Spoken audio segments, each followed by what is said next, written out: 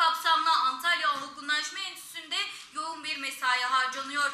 Padişah 3. Mustafa'nın oğlu Şehzade Selim için puşideler ilmek ilmek işleniyor.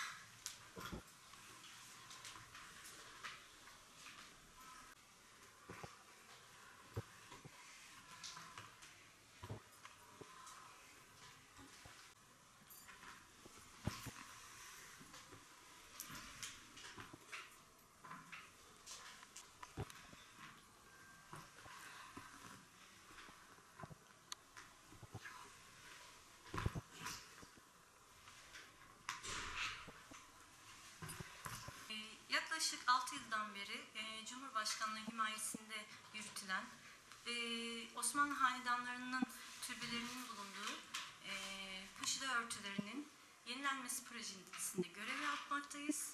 8 kişilik bir ekiple çalışmaktayız. Şimdiye kadar yaklaşık 4 tane ürünü e, Paşida örtüsünü teslim ettik. İlgili olan türbeleri.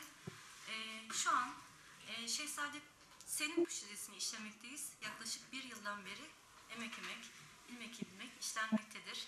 Ee, bu çalışma gerçekten çok zorlu bir çalışma ee, ve Maraş işi tekniğiyle yapılmaktadır. Maraş işi tekniği kısaca bahsedersek eğer üst tarafta 3 katlı, 5 katlı simlerle çalışılır. Alt katta, alt tarafta kumaşın tersinde mumlu iplikle çalışma yürütülür. Öncelikle kumaşın üzerine desen, e, terlenerek geçirilir. Daha sonra kartonlar e, kesildikten sonra e, kumaşın üzerine yapıştırılır E, ve özel bir teknikle de işlenmeye devam etmekte. E, püştelerin yapım işlemi biraz uzun sürmekte. E, bu teknik artık kaybolmaya yüz tutmuş bir teknik de diyebiliriz. Biz hala enstitümüzde bu işlemi devam ettirerek e, yeni kuşaklara da tanıtmış oluyoruz. Bir vesile olduğunu düşünüyorum. E, Püşide artık tamamlanmak üzere. E, aşağı yukarı iki ay sonra teslim etmeyi düşünüyoruz. İstanbul'da bulunan Hatice Turhan Valide Sultan e, türbesine teslim edeceğiz. E, daha sonra bu proje hala devam etmekte. Yeni bir Püşide'ye başlayacağız. 6 yıldır da Puşti'de görev almaktayım. Ee, ekip arkadaşlarımla beraber e, her işine, her iğne batışımız, ilmek ilmek işlediğimiz bir teknik, unutulmuş bir teknik olduğu için tabii bunu yapıyor olmak bizim için bir gurur. Ee, bunu geçmişe, geleceğe yansıtmak, e, gençlerimize örnek teşkil etmek de bizler için tabii onur verici bir durum. Ben e, bizzat yerine gidip Sultanahmet'te Hacı Turhan Valide Sultan Türbesi'ni gezdiğimde e, orada gezerken insanlar o kadar yakından incelerken şöyle bir şey söylediklerini duymuştum. Bunu bir e, insan işleyemez.